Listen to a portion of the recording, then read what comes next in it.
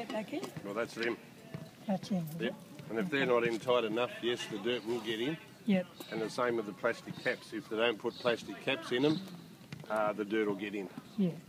That's what they're there for. I agree with having them. If, if, if they're like that, they're left like that, then the, the contractor's going to have all sorts of problems because his key won't get down to the bottom of it. Yeah. Yeah. Because Uh, and he's got a problem for a start. Now, just to clean that out, it's probably going to take him 15 minutes. Yeah. Whereas if it was nice and clean, he flicked the caps off, just got in there, he'd probably take him five minutes. Yeah. So those caps are essential, whether they be plastic or stainless steel or brass. Yeah. Okay. And there's only one type. Why don't we look at uh, getting the contractor out here Yeah. to see if he is happy with that? Yeah. You know, we go for the, Yeah. the, the most uh, difficult situations. Yeah.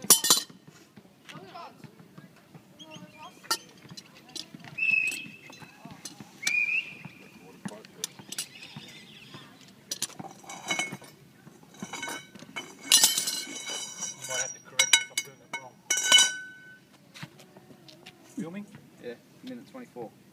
A minute 24. Right technique? Yep. Perfect. And stop, bang, 1 minute 33. There you go.